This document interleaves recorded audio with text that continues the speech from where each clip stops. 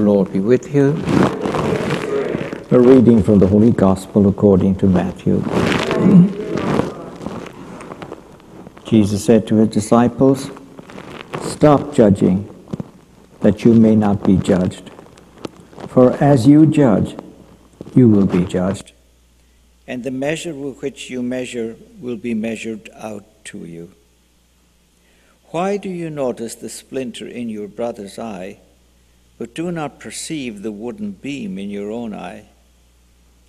How can you say to your brother, Let me remove the splinter from your eye, while the wooden beam is in your eye?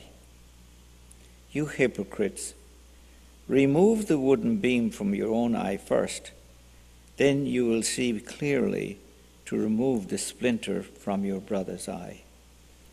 The Gospel of the Lord. Stop judging, and you will not be judged.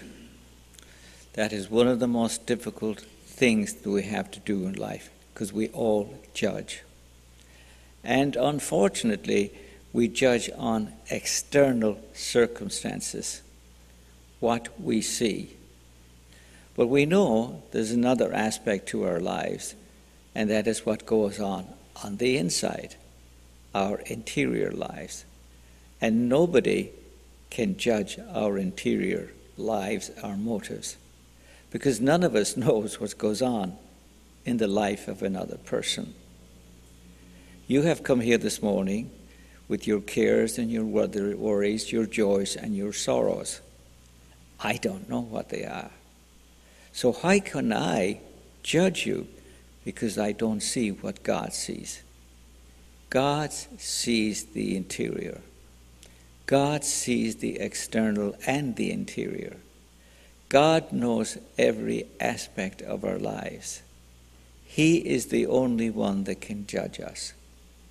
And as a matter of fact, when we judge other people, we are usurping God's work.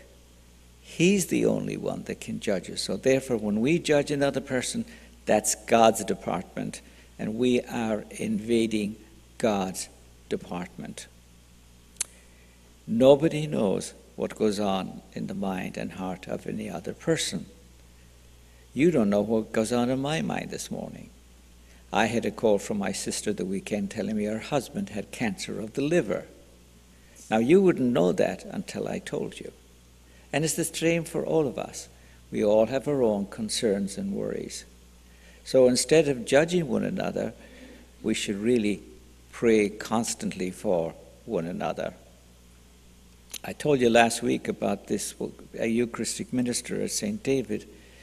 She has a very good friend who's a Eucharistic minister. And her son was bullied in school, which is a terrible problem nowadays, we all know. And it got so serious that he murdered the kid that was bullying him. And of course, he was arrested and was, first of all, they were going to send him to the electric chair, but they changed their minds and they gave him 25 years in jail. Now he's just there 25 years. He studied, he got his master's in jail. So last week he came up for before the board to evaluate his life, hoping that he would be released, but he wasn't. They sent him back to jail for another seven years. That's a very complicated case. I mean, he did commit the crime. But is it right that he should spend the rest of his life in jail? I wonder what the mother of the child that was killed would say. You know, we've all seen on television the court cases, and somebody's been murdered, and the family will come out and say, I hope he burns in hell. Now, that's a perfectly normal reaction.